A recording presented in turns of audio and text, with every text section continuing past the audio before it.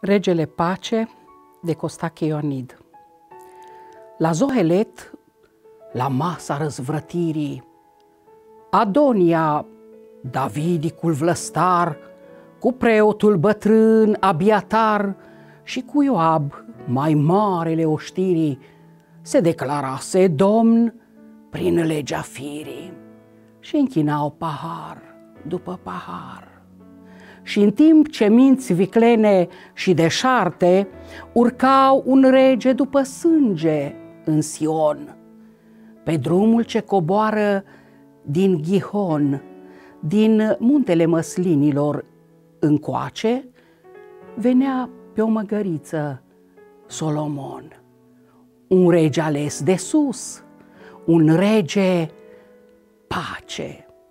Trecură ani un întreg mileniu și într-un palat, tot lângă sacrul zid, se sfătuiau cu același duh avid preoți bătrâni și cărturari de geniu, aceleași căpetenii de cetate, de același tainic rege adunate. Să rupem orice funice ne țin și să scăpăm de Domnul și de unsul, și de strâmsoarea lanțului divin, voi nu cunoașteți încă nepătrunsul, să biruie romanii pe deplin, să pierdem tot, și cârmă și cămin, sau unul doar să fie în loc străpunsul. Și iată că din nou dinspre Gihon, înconjurat cu psalmi și bucurie, venea pe măgăruș ca o făclie, venea din cer pe calea spre Sion, un rege pace pentru veșnicie. Un vânt de seară începea să joace, iar regele în cale se opri, vorbind ciudat de tainice soroace. Ierusalime, Ierusalime, Mesia vorbi, o, de cunoaște în această zi iubirea mea, care îți aduce pace. Și pacea sfântă, pacea împlinirii, se coboră atunci în templul ei, iar preoții, bătrânii farisei, acele minți viclene și deșarte, au vrut mai bine negură și moarte. Și atunci, lăsând coroana lui David sub aripile ahvilei romane, Iisus luă mulțimile sărmane, pornind să cucerească nu un zid, nu cetățui de piatră, nu coroane, ci inimi, fortărețele umane.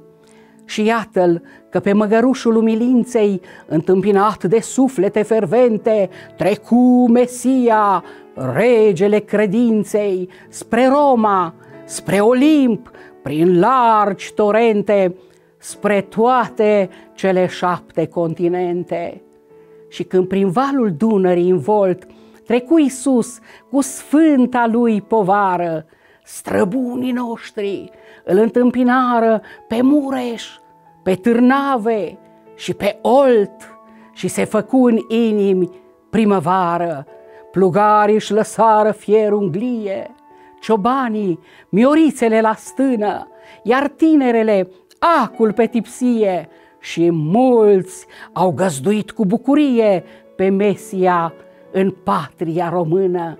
Prietene, ascultă, ia aminte, nu simți cumva un freamă de zăvoi, nu vezi cum cei umili se strâng și voi cu bucuria cântecelor sfinte? Să știi că Domnul încă-i pe negoi și pe aici, călcând pe vechi veșminte, mai poți tăcea când niciun dor nu tace. Mai poți să stai tu rece, ca un sloi. Hai, vino dar să cânți și tu cu noi, întâmpinând eternul rege, pace.